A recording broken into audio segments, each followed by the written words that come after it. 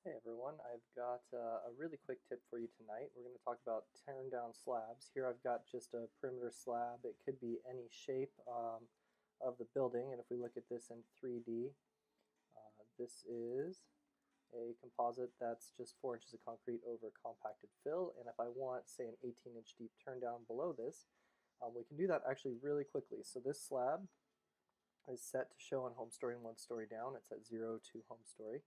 We're going to drop to the story below and we're going to drag a copy of this slab and change it from concrete compacted fill to just cast in place concrete and let's give it a depth of 18 inches here.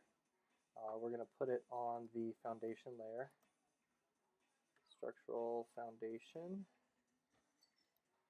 um, and we're going to call it our turn down footing the element ID. Um, so now when we look at this in 3D, uh, we have this additional overlapping slab that needs to be at the bottom of the slab, not uh, the top of that slab. Uh, this slab should show up on home story only, and it should have an outline of, uh, sorry, not cut fill, looking for uncut line, should be dashed here. Uh, so with that line set to dashed, now we can go back to the floor plan and make this a turn down. Uh, so just to check and make sure that we've got the right uh, uh, slab here, that's the composite. let's go back to 3D. This slab is on the first floor. We want to relink that home story to the foundation. Uh, and now um, I have this slab here will be my turn downs. Uh, so I'm going to move it off to the side as set distance. Let's make that 120 feet for now. Uh, this is my turn down, but now I need to carve out the inside of that edge. So what I'm going to do is drag a copy of that in the exact same place. I'm going to offset the edges of that slab in. Let's give it a, uh, let's call it a 24 inch offset here. So now I have two overlapping slabs, again, just to verify and look at these in 3D. Uh, there's a slab here and a slab here. If I select this slab and click on the edge, I can select from my pet palette the subtraction method and hold down the spacebar to get the magic wand uh, and subtract out the inner piece from that slab. I can now delete that inner piece and grab uh, the perimeter of that interior edge and give it um, an angle for all polygons and let's set that to 60 degrees.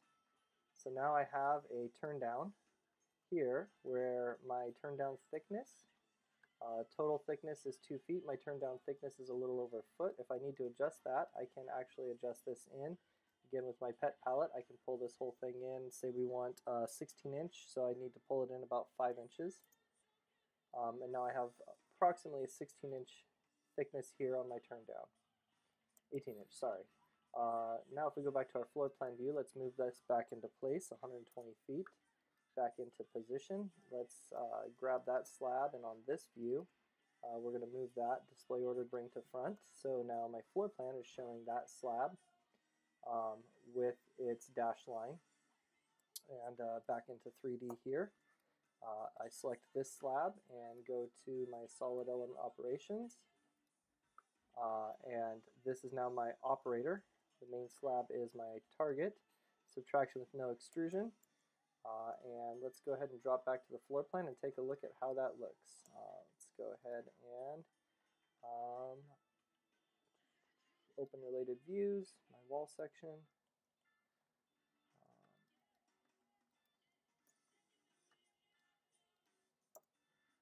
there we go. That's what we're looking for right there.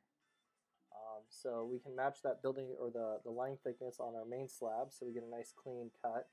So our cut line pen uh, can be the composite line thickness there. We get a nice clean cut. We get our, our compacted fill underneath the slab right there uh, and we're good to go. This can now integrate with uh, any building elements that stack on top of it.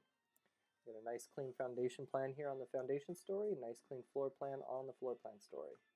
Uh,